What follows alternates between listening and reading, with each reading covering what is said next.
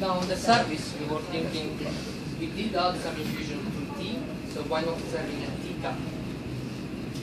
So we were thinking, okay, let's serve a teacup. That's wonderful. Maybe teacup it won't be enough because we're talking about women. so women they love perfumes a lot. They always, you know, sometimes we watching our customers. They quite often go to the toilet, always uh, making a little bit of lipstick, perfumes. So they really like these things. So we were thinking, okay, we should add some smell to their service as well. So we were thinking something Asian. So we have a wooden box, which you usually would use for sake, if I'm not wrong.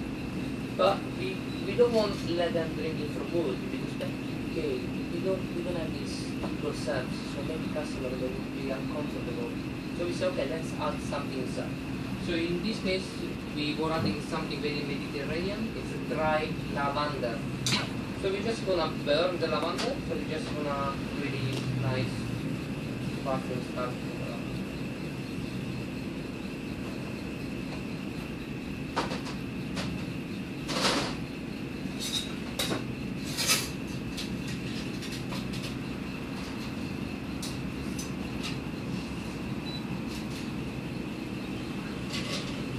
Now again, we we thinking were thinking to twist our uh, dirty martini. So in this case, ladies or gentlemen, they like uh, olives inside. So we were thinking, let's not give them olives, let's give them a contrast color with your grass jelly, which is a bit agent as well. And we're just gonna leave them inside which will be will be on the last seat you will have this nice mouth feeling from a jelly.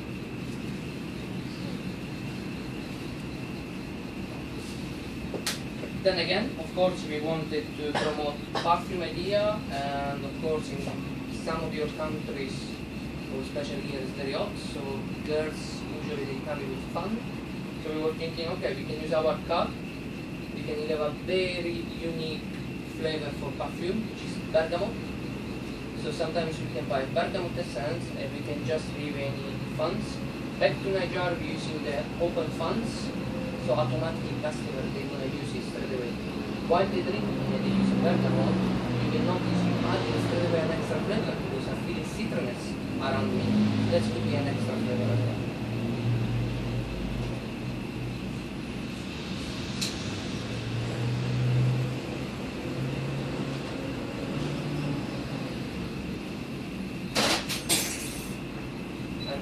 that's outside the heat. And as before I mentioned, we did have the little bell, so we just want to leave here. Enjoy.